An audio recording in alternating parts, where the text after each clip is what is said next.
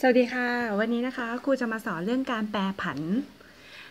วันนี้เนื้อหาที่ครูนำมานะคะ คือการแปรผันตรง ครูเตรียมมา 2 ข้อนะ ข้อแรกนะคะครูบอกว่า ถ้า y แปรผันตรงกับ x อ่านแค่ประโยคนี้ประโยคเดียว เราจะต้องเขียนสัญญลักษณ์ให้เป็นค่ะ สัญลักษณ์ของมันเป็นแบบนี้ y แปรผันตรงนะ สัญลักษณ์ของมันจะเป็นตัวแบบนี้ค่ะ กับ x เขียนไว้แบบนี้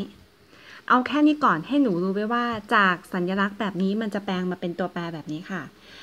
สมการของการแปรผันคือ y เท่ากับ kx หมายความว่า y แปรผันตรงกับ x นะคะ นี่เป็นลักษณะสมการเฉพาะเราจะต้องรู้ไว้นะคะ สิ่งที่เราจะต้องหาคือเราจะต้องหา k ค่ะ k เราจะเรียกว่า ค่า คงตัว ของการแปรผัน ต้องหาเป็นสเต็ปที่ 1 ก่อนเสมอ โดยโจทย์จะบอกมาว่า y เท่ากับ 6 เมื่อ x เท่ากับ 9 ค่ะ หมายความว่า y คือ 6 แทน y คือได้ 6 ลงไป k ค้างเอาไว้ค่ะ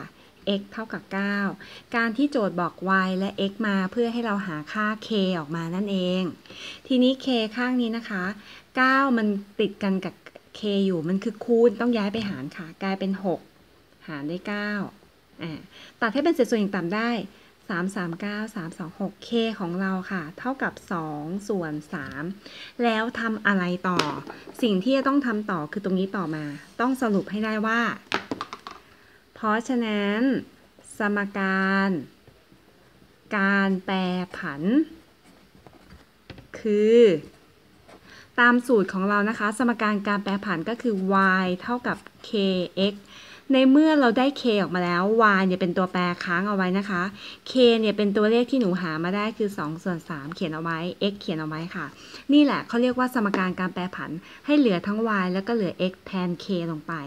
พอหนูได้ step นี้เป็น step ที่ 1 เสร็จแล้วดูโจทย์ต่อ จงหาค่า y เมื่อ x เท่ากับ 15 หมายความว่าจากสมการที่เราได้อันนี้ค่ะ แทน x คือเลข 15 ลงไป เมื่อ x เท่ากับ 15 จะได้แทนค่าลงไปนะคะ y เท่ากับ 2 ส่วน 3 แทน x คือ 15 ลงไปค่ะ ตัดกัน 3 1 3 3 5 15 ตัวนี้เศษเอาไปคูณกันเฉยๆ5คูณ2ได้10 สุดท้าย y ก็ได้เท่ากับ 10 เนี่ยตอบแค่นี้ค่ะ step ที่ 1 หาสมการการแปรผันคือหาค่า k มาก่อน step ที่ 2 แทนตัวใดตัวหนึ่งที่โจทย์ให้ถ้าเขาให้ x หนูก็แทนค่าเพื่อหา y ออกมานะคะ ลักษณะจะเป็นแบบนี้ ต่อมาค่ะครูเตรียมมาอีกข้อนึงนะ ข้อ 2 เขาพูดว่าถ้า x แปรผันตรงกับ y อะดูโจทย์ให้เต็ม ถ้า x แปรผันตรงกับ y เจอคำว่า แปรผันตรงค่ะ เขียนให้เป็นการแปรผันตรงคือ x แปรผันตรงกับ y เขาให้ตัวใดขึ้นก็เอาตัวนั้นเป็นตัวแรกแค่นั้นเอง เขียนสมการการแปรผันทุกครั้ง x ตรงนี้ใส่ไว้ที่เดิม เท่ากับ ky ค่ะ หลักการนะเหมือนเดิมหา k ก่อน โดยการที่โจทย์เขาบอกมาว่าถ้า x เท่ากับ 20 เมื่อ y เท่ากับ 9 คือการบอก x บอก y มานั่นเองเอา x ไปแทนค่าค่ะ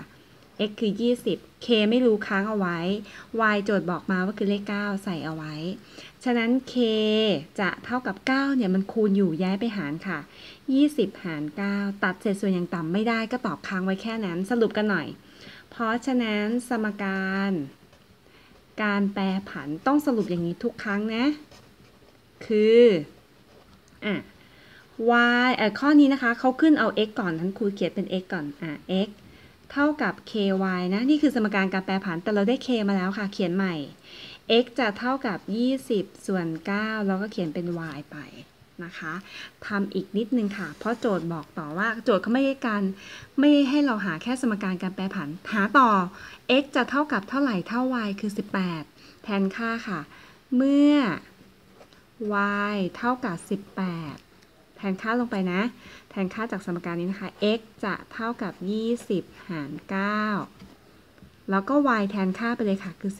18 ตัดเป็นเศษส่วนอย่างต่ำได้ 9 1 9 9 2 18 2 คูณกับ 20 ค่ะ